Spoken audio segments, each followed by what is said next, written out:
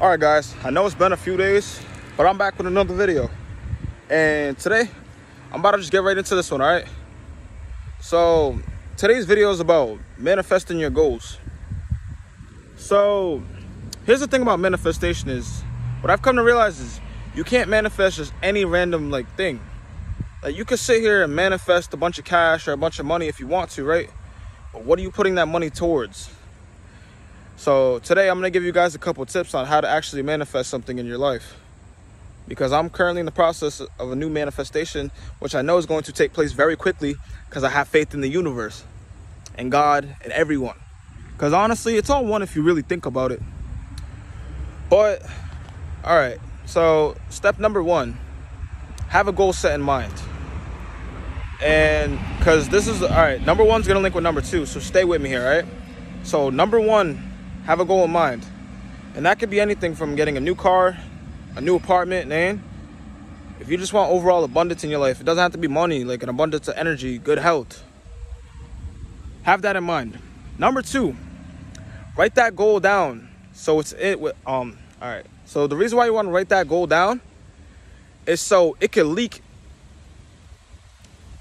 into your subconscious. So see, when you write things down in your subconscious, on pen or in a journal, I said on pen, sorry, on paper or in a journal, what's going to happen here is like the manifestation is actually going to transfer itself.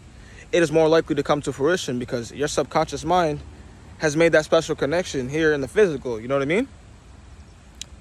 So, manifestation tip number three is believe that's already done.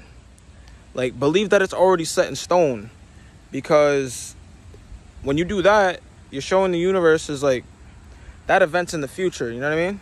So you're just gonna work towards these steps on actually doing this thing, you know? And I repeated myself a couple times. I just realized that. All right.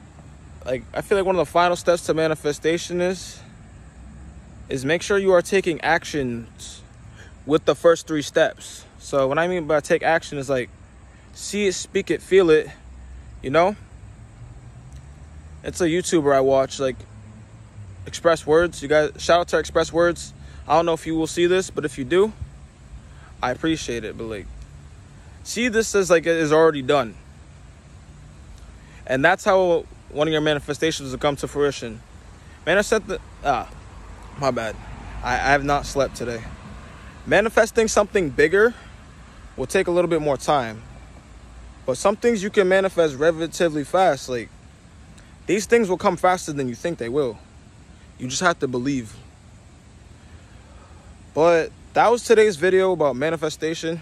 I haven't uploaded in quite a few days. I apologize for that. But I want you guys to tune in to the next video. I'm going to be posting tomorrow. If you guys could just like, comment, subscribe if you got some value from this video, I'd highly appreciate it. Support the channel, share this video with your friends, and I'm out. Peace. All right, I'm sorry for that. I think I said I'm tired. I'm in the woods right now, you know? Bow, bow. But all right.